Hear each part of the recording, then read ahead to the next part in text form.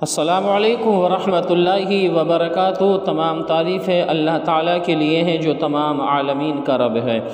ناظرین، حضرات، میں ہوں نسیم اختر مراد آبادی آپ کی خدمت میں اس موضوع کے ساتھ۔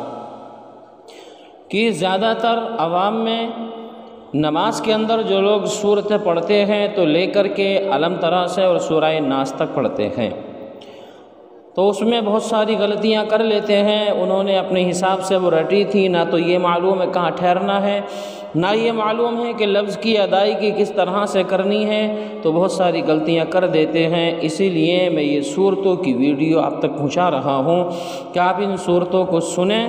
اپنی غلطیوں کو ٹھیک کریں، کہاں ٹھہرنا، کہاں نہیں ٹھہرنا، لفظ کی ادائیگی کس طرح سے کرنا ہے، ان ساری باتوں کو دھیان میں رکھیں۔ تو میں آپ کو سورہ اذا جاء پڑھ کر کے سنا رہا ہوں۔ آپ اس کو دھیان سے سنیں اور ویڈیو دوسرے لوگوں تک ضرور پہنچائیں تاکہ اور لوگ بھی اس سے فائدہ اٹھا سکیں۔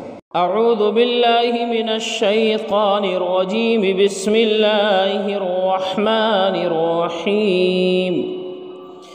إذا جاء نصر اللہ والفتح ورأيت الناس يدخلون في دين الله أفواجا فسبح بحمد ربك واستغفره إنه كان توابا یہ میں نے تو بہت آہستہ پڑھی ہے، آپ نماز میں چاہیں تو تھوڑا جلدی بھی پڑھ سکتے ہیں، لیکن لفظ کی ادائیگی صحیح معنی میں کریں۔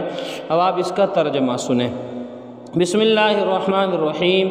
سورہ نصر مدنی ہے، اس میں تین آیتیں اور ایک رکوع ہے۔ جب اللہ تعالیٰ کی مدد اور فتح آئے اور لوگوں کو تم دیکھو کہ اللہ کے دین میں فوج فوج داخل ہوتے ہیں، تو اپنے رب کی ثنا کرتے ہوئے اس کی پاکی بولو اور اس سے بخشش چاہو۔ بے شک وہ بہت توبہ قبول کرنے والا ہے۔